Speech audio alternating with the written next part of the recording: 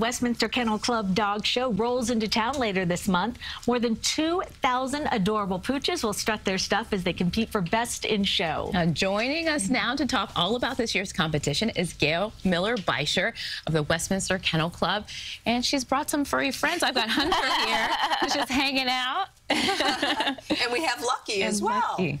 Now, tell us about, I mean, they have really achieved quite a bit of success in these competitions. Oh, sure. So these two are grand champions, and actually Lucky has shown at Westminster and did very well. She was number one dachshund for several years, and but now she's retired and has had uh, litters. So she's had recently. So she's now become a mother. Aw. well, you know what I love, love having covered, you know, these these different stories is that these dogs, a lot of them have just regular lives after the competition. It's not like they're kind of, you know, in this little glass box and they don't get oh, to do things. Absolutely. These are our pets. We mm -hmm. love dogs. People involved in the sport do this because they love dogs.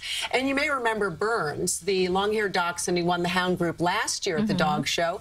He retired and is now a therapy dog, a oh, certified therapy wow. dog, going to schools and hospitals and spreading joy like all of them do. and the dog show begins on Saturday. So tell us about the competition. Sure. So it kicks off Saturday with the Masters Agility Championship, which is so fun for families to come and watch. The dogs run through an obstacle course trying to beat the clock.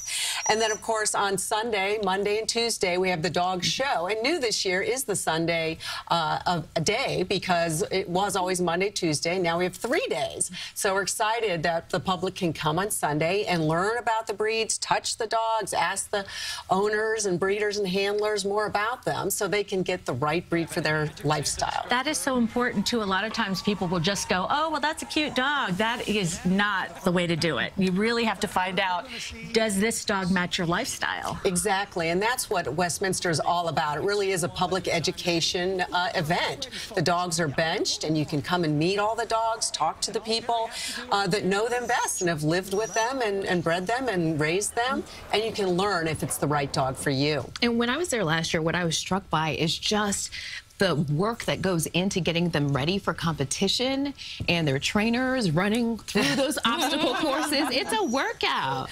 Well, it is a labor of love. Mm -hmm. Everyone who's involved in the sport really loves their dog. Mm -hmm. They spend all their extra time, money, and energy with their pet, their best friend. What's better than that? Uh, what are some of these specific things that the public can come and, and you know, do as part of the show and see? Well, uh, aside from the Agility mm -hmm. Championship, we also have the Masters Obedience Championship oh. on Sunday. And then, of course, um, we have lots of on-site things. Dr. Pol is going to be visiting the show uh, on Saturday and Sunday. And then we also have a Lego replica of last year's Best in Show dog being built. A lot of family-friendly uh, activities happening at the show, aside from thousands of beautiful dogs. Yeah. And how long does it last? So the show is from the 8th to the 11th, and all of the breed judging is streaming live on our website and also on the Westminster app. So if you can't uh, see the breed come down on your day, you can also watch on, on our website. Mm -hmm. And then you can also tune in. Mm -hmm. We have um, Everything is being covered in one way or another. Mm, the big group competition at Madison Square Garden will be airing live on FS1 Monday and Tuesday nights. So everyone loves their dog, and they think they have the best dog in the universe. so how do you know that your dog may be a candidate for getting into these competitions? Well, the best thing is to find a responsible preservation breeder, mm-hmm. somebody that is involved in the sport and does all the health screenings before breeding dogs and make sure that they're sound, healthy, healthy uh, animals. And you can find that information uh, at akc.org. I would start there, or go to the parent club. So, like the Dachshund Club of America, for example, would list breeders that are members of mm -hmm. their mm-hmm. club. Yeah, this is so great. Hunter here is having a really great time. What's your favorite part of this? The best part for me is, well, of course, the dogs are wonderful, and I love all the animals. But when you see the public and the kids especially mm -hmm. come to the dog show and see these beautiful dogs and learn about breeds that they don't always see every day, right. I think that's a great educational tool, being able to touch the dogs and learn more. And, and that, to me, is the best part, is really making sure we're educating the public.